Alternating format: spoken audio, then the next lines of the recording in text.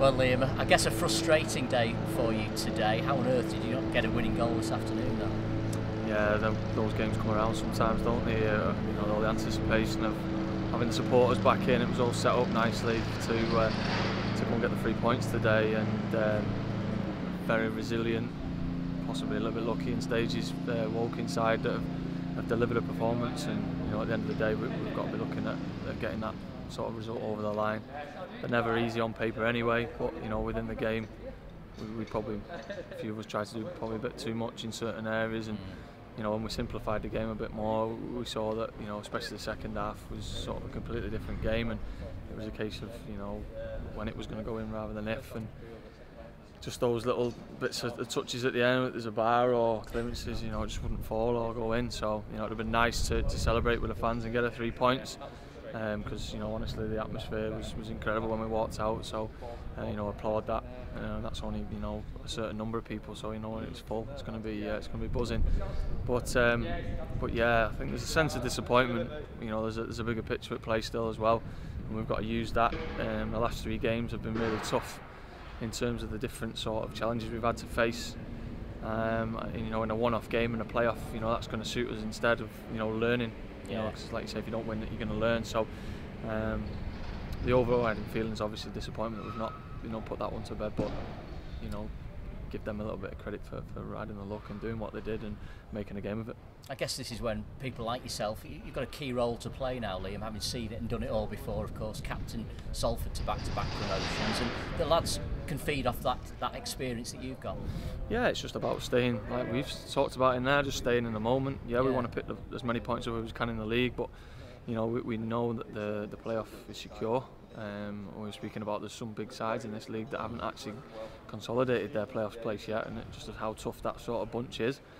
Um, you know, and it'd be important now that we, we have a good week and we, you know, we, we do the right things to get down to Yeovil and hopefully turn something into a positive result there to, to take into those. But um, like I said, whatever the outcome is going to be today, we know that, that you know the playoffs there and at the start of the season, the the chance to compete to, to get out of this league was what we wanted. That was the aim, um, and, and we're, we're there at the minute. So you know whether it'll be three games, two games, you know, it's going to be a case of once we, we get this Yeovil game out of the way of prepping in the right manner for whichever game it's going to be. So um, I know there's a result tomorrow to happen, but um, you know it keeps us sort of um, hungry and it keeps us.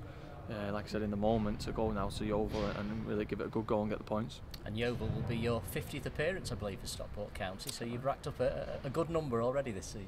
Yeah, no, it's been a pleasure. I've really enjoyed the new challenge of coming here, and obviously it was a bit short-lived last season. a bit gutted because, like I, mentioned today, you know, I got a good taste of what the, the club is and where it's going to go, and um, it, was, it was a shame that. So, just to start and, and sort of contribute this year of, of, how it's been, then you know, I've been happy so far. But you know, there's a job still to do. Uh, and like I said, now we've got the, the fans, we can all do it together. So it's going to be uh, it's going to be exciting times the next couple of weeks. How has it been playing inside an empty stadium? And I, I guess the bigger the stadium, like this one, the more eerie it it is for you. It's probably been a bit, a bit easier to communicate really? to, to, the players without um, the fans. Without yeah. the fans, yeah. in terms of you know, some of the noise has been great today, um, but you have to shout a little bit louder to get your message across. And um, oh, I just think the, the areas of, of, pressure that we put on them uh, worries teams. You yeah. know, even if it's a corner, even if it's a throw in, you know, you build up a bit more of what the actual moment really is.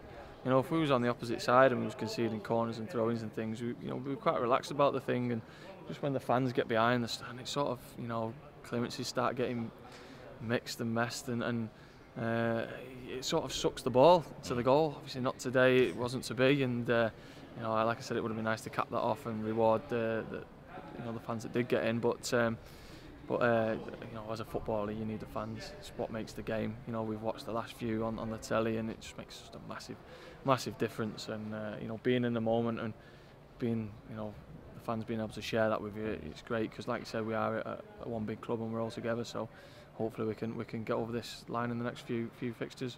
So watch the Sutton game tomorrow, then a, a, good week of training, and then Yeovil away at the weekend, and uh, uh, that'll be an interesting contest. Darren Sarll's teams are always difficult to beat, aren't they? Yeah, that's probably been a couple of our tougher games, especially in the uh, in the cup where mm. um, they, they, were sort of on the back of not so good results then, and they just you know what they are, and, and they'll, they'll compete, they'll battle, and they have got little bits of quality. They've got some Yeah. at one point the, the striking line that they had against us was, you know, some top league league strikers. So, Yeah.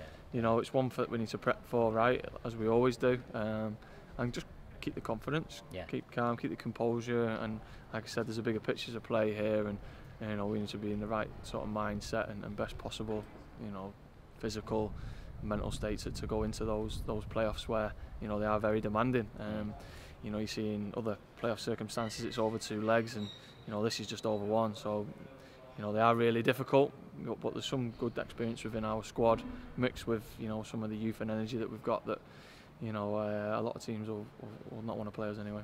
It's always good to talk to you, Liam. Thanks, Thanks, for your John. time. See you now. Thanks, Top guys.